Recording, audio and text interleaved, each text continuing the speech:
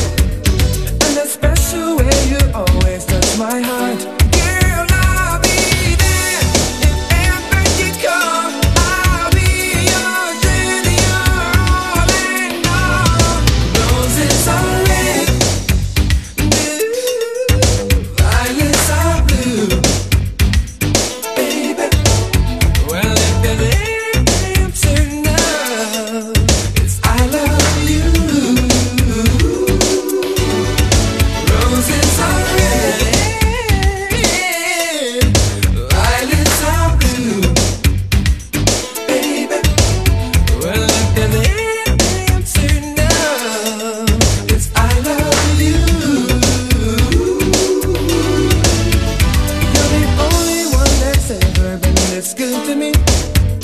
That is why I